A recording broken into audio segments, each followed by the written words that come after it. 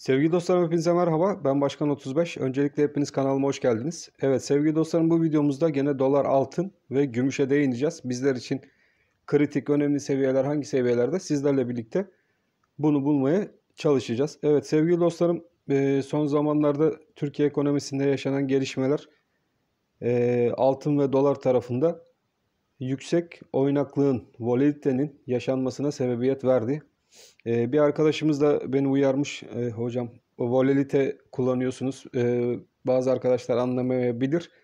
Bunu oynaklık şeklinde anlatırsanız sevinirim şeklinde. Tabii biz bu volatiliteye oynaklık da diyebiliriz. Ee, volatilitenin yüksek olduğu e, dönemlerden geçmekteyiz. Peki şimdi altın ve dolar yatırımcısı ne yapmalı? Ee, nerelerden alım yapabiliriz? Ee, satmalı mıyız? Yönünde sorularınız geliyor. Öncelikle e, kanalımızda hiçbir zaman bu kanal bir al-sat kanalı değildir. Bunu öncelikle anlamanızı sizlerden rica ediyorum. E, al-sat tavsiyeleri genellikle e, bağlı bulduğunuz yatırım şirketleriyle e, profesyonel, oradaki profesyonel ekiplerdeki arkadaşlarla alınabilecek kararlardır. Bu uyarımızı da yapalım. Bizler sadece burada kendi önerilerimizi e, ve öngörülerimizi grafik analizlerimizi paylaşıyoruz. E, bu analizlere dayalı olarak da sizler kendi e, fikrinize, düşüncenize göre bir strateji oluşturabilirsiniz. Evet sevgili dostlarım, e, şimdi altın ve dolar satalım mı alalım mı şeklindeki sorularınıza da e, bir nebze de olsa e, bu programda yanıt vermeye çalışayım. Altında başlayalım. Öncelikle arkadaşlar biliyorsunuz e, ABD'de Biden'ın seçimleri kazanması. E, bu ve Biden'ın e, seçimlerden önce yapmış olduğu teşvik paketiyle ilgili e, sözler mevcut. Bu sözlere dayanılaraktan altın tarafına baktığımız zaman altında tekrardan e, ileriye dönük bir yukarı yönlü ivmelenme yaşanacağını e, ben kendim öngörüyorum. Benim için önemli olan şuradan geçen e, bir destek bölgemiz var. Şu an itibariyle iyi çalışmış olan 1850 destek bölgesi. E, ons altın bu 1850 destek bölgesi üzerinde tutunmaya devam ettiği müddetçe arkadaşlar e, benim tahminimce e, daha orta vadeli e, altının onsunu 2000 150 seviyesine kadar taşıyacağı yönünde.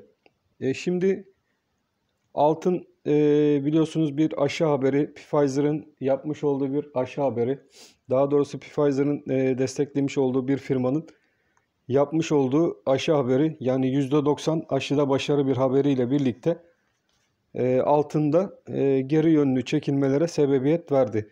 E, peki daha orta vadede bu açıklama aşı haberi altında daha geri çekilmeler e, getirebilir mi?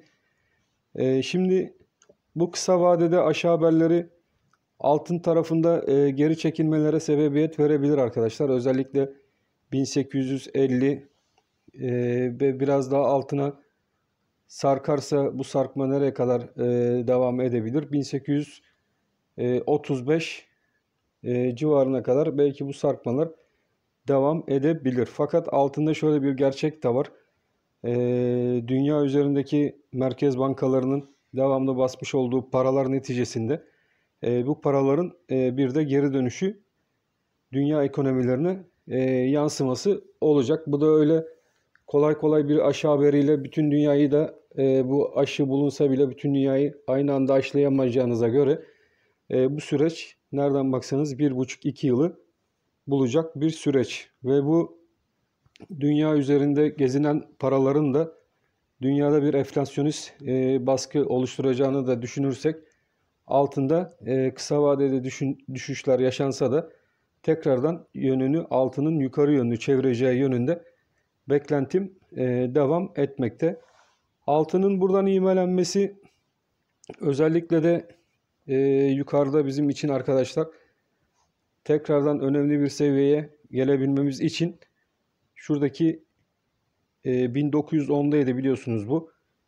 Burası yukarı kırıldığı halde tekrardan aşağı yönlü aşağı haberiyle birlikte e, tekrardan aşağı yönlü altın tarafında ivmelenmeler yaşandı. Evet bu da bize altında e, her düşüşün e, bir alım fırsatı şeklinde değerlendirilebileceği yatırım tavsiyesi olmamak koşuluyla e, fikrini bize e, düşündürüyor arkadaşlar.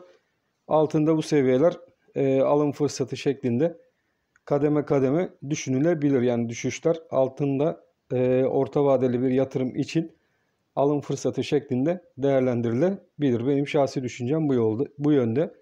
Altının tekrardan e, 1905 üstüne yerleşip e, yükseliş trendine devam edeceği yönündeki fikrim hala devam ediyor. E, ilk etapta 1905, 1940 evet bu seviyelerde e, yönünü e, sürdüreceği ve daha sonra da arkadaşlar şuradaki 2150 hedefine doğru ons altının e, yukarı yönlü hareketlerine devam edeceği benim e, kişisel düşüncelerim arasında. O yüzden altında olan arkadaşlar e, özellikle de orta vadede e, altında panik yapmalarına şu an itibariyle e, gerek yok şeklindeki düşüncemi hala koruyorum.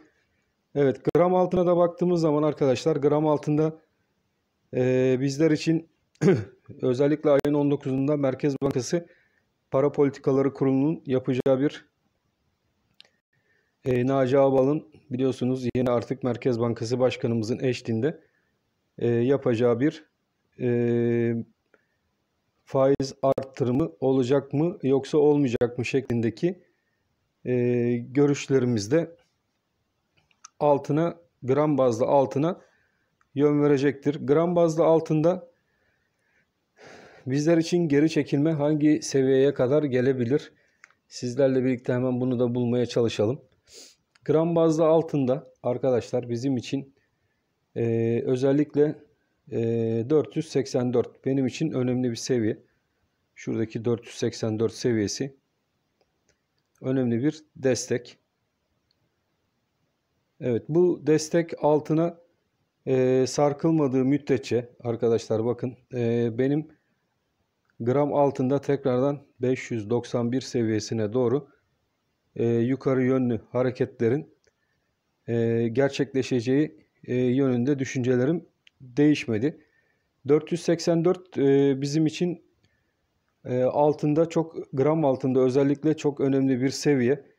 E, eğer ki Merkez Bankası'ndan piyasaların beklentileri doğrultusunda şuraya önemli bir destek diyelim arkadaşlar. İlk etapta 484.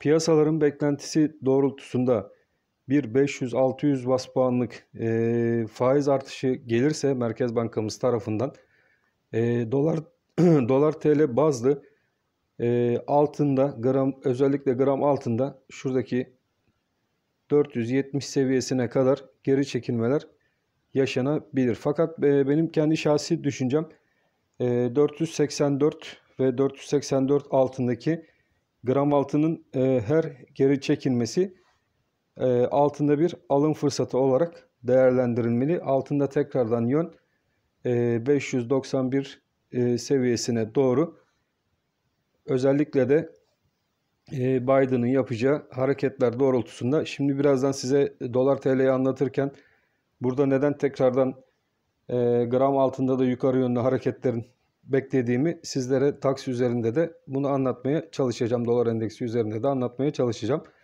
Evet kısada 470-484 e, bu civarlar dediğimiz gibi gram altında e, tekrardan bir alım fırsatı yaratacaktır. E, gram altında da benim şahsi düşüncem orta vade hedefim 591 TL'ler hala da e, gündemini korumakta. Hemen gümüş tarafına da geçelim arkadaşlar. Gümüşte bizler için önemli olacak seviyeler. Evet gümüşte özellikle gümüşün ons tarafına baktığımız zaman şuradaki 23 arkadaşlar bizim için çok önemli bir destek ve 23 üzerinde şurada dediğimiz gibi bir 24.04 yükseliş e, başlangıcı için e, şart olacak bizler için bir e, seviye. E, gümüş de o, özellikle ons bazında arkadaşlar 23 dolar altına inmediği müddetçe şurada 23 dolar altına inmediğimiz müddetçe E, benim e, gümüşün ons tarafındaki hedefim 30 dolardır arkadaşlar. Bu 30 dolar e, hala orta vadede benim için önemini koruyan bir seviye. 30 dolarlar seviyesi. Ve e, bu 30 dolarlı seviyelere doğru gümüşün onsunun da hareketlerini devam ettireceğini e, ben şahsi olarak e, hala da düşünüyorum. Özellikle de 23 e, dolarlar altına inilmedikçe yukarıda 26 dolarlar e, özellikle gümüşün ons tarafında yukarı yönlü kırıldığı zaman e, birden burada bir e, 30 dolarlar seviyesine doğru da gümüşün ons tarafında yukarı yönlü hareketler e, beklentim halinde. Yani e, gümüşte de altın onsta olduğu gibi e, yukarı yönlü hareketler arkadaşlar aşağı yönlü e, daha doğrusu aşağı yönlü inişler alım fırsatı bekleyen arkadaşlar için e, önemli seviyeler şeklinde değerlendirilebilir yönündeki düşüncelerimi hala koruyorum. Gümüş grama baktığımız zaman da arkadaşlar e, bir 6.33 önemli destek bölgemiz mevcut. Şurada bir geçen 6.33 destek bölgemiz. Bu destek e, üzerinde hareketlerimizi koruduğumuz müddetçe tekrardan 6.44 ve 6.62 seviyelerine doğru e, gümüşün gramında da yukarı yönlü hareketler görmemiz mümkün. E, gümüşün gramında da 6.14 seviyelerine kadar e, geri sarkmalar e, olabileceği de unutulmamalı arkadaşlar. E, bu hatta 5.95'li seviyelere kadar da e, inişler olsa bile orta vadede panik yapılmaması e, gümüşün gramında da 8 dolarlar seviyesi özellikle 8.09 dolarlar seviyesi e, tekrardan piyasanın bu aşı haberlerini sindirmesinden sonra e, bunlar görülecek. Şimdi birazdan bu sebeplerimi de size anlatacağım. Bunu özellikle dolar TL tarafına sakladım. Çünkü e, gram altın ve gram gümüş e, bir yerde de e, dolar TL kuruna bağlı e, hareketlerini sürdürmekte arkadaşlar. Evet bizler için gelelim hemen şimdi dolar TL kuruna. Dolar TL kuruna geçmeden önce şurada DAX'a geçelim. DAX e, dolar endeksini bir anlatayım arkadaşlar. Evet dolar endeksini aldık. Şimdi dolar endeksinde bakın arkadaşlar dolar endeksini geçenlerde e, yukarı yönlü bir ihlal ettik. Şuradan bir yukarı yönlü kırılma gerçekleşti. E, fakat daha sonradan e, tekrardan bir aşağı haberinin gelmesiyle birlikte de e, dolar endeksi tekrardan bir aşağı yönlü ivmelenme yaşadı. Bu tekrardan düşüş hareketine başladı. Fakat şöyle bir durum var arkadaşlar. E, dolar endeksinde artık 92 ile e, şurada gördüğünüz 92-50 arasında bir sıkışma mevcut. Özellikle e, bu 92-80 üzerine tekrardan dolar endeksi atabilirse, yukarıya yönlü atabilirse e, bu sefer bakın şuradaki trend tekrardan yukarıya doğru kırılacak. Çünkü bu trend de artık e, fazla bir alanı kalmadı. E, buradan her an yukarı yönlü bir patlama yaşayabilir. E, bu da bizim dolara özellikle TL bazında arkadaşlar sıkıntıya sokacak bir hareket. Her ne kadar da şimdi dolar TL kurunda bunu açıklayayım. Her ne kadar da bizim Merkez Bankamızdan gelecek bir açıklama dolar TL kurunda aşağı yönlü e, bir 7.96 bu dediğim senaryo e, dolar TL kurunda bir 500-600 bas puanlık hareket e, sonrasında yaşanacak bir durum. E, burayı ancak 7.95 seviyelerine kadar geri çekecektir. E, veya maksimum sarkmalar 7.82 seviyesine kadar gerçekleşebilecektir.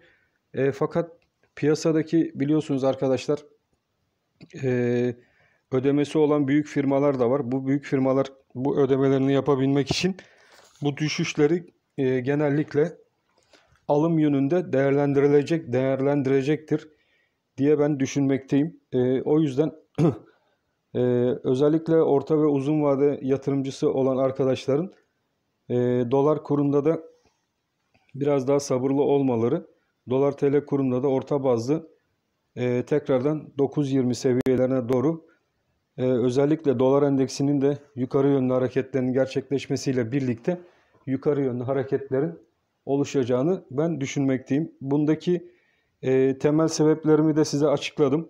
Özellikle de biz de biliyorsunuz arkadaşlar Biden'ın seçimleri kazanması e, ve TL üzerinde bu seçim kazanan Biden'ın baskısı büyük olacaktır. E, bunun nedenleri birçok nedeni var.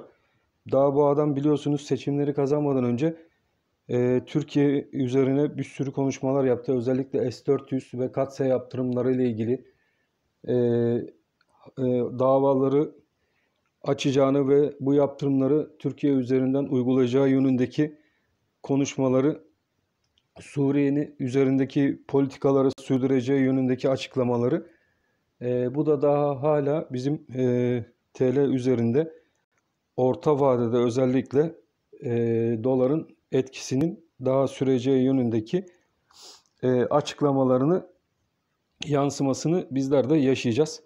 O yüzden dolar ve altın tarafında olan arkadaşlar e, paniğe kapılmadan verdiğim alt seviyeler e, özellikle alım yapacak arkadaşlar için uygun seviyeler.